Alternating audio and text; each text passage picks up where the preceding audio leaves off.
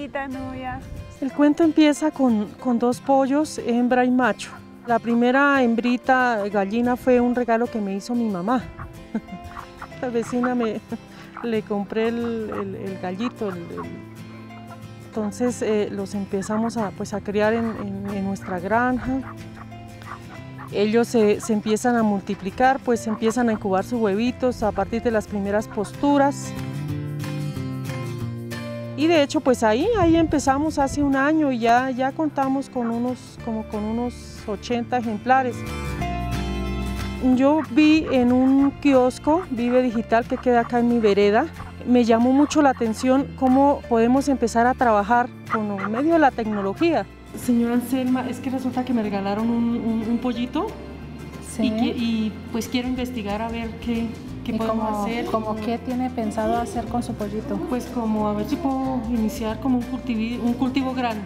Miré el programa, me gustó mucho, eh, vi cómo nos enseñan, inclusive a, a la incubadora casera. En verdad la tecnología para, para el campo nos hace muy productibles, nos mejora nuestra calidad de vida, nos ayuda para nuestro sustento familiar.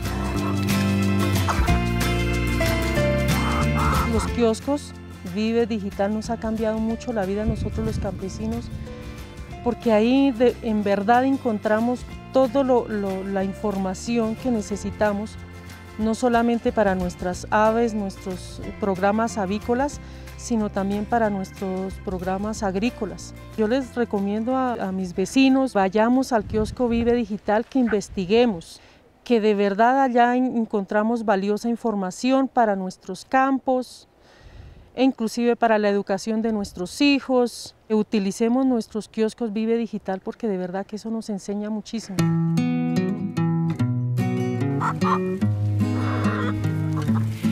Hoy he aprendido con Nubia la importancia del kiosco Vive Digital en las zonas rurales y también que una familia y una comunidad pueden ser sostenibles. Nubia, al igual que muchas otras familias de nuestro país, están haciendo empresa y están logrando mantener a sus familias y salir adelante gracias a la tecnología. ¿Acaso esto no es algo muy inspirador?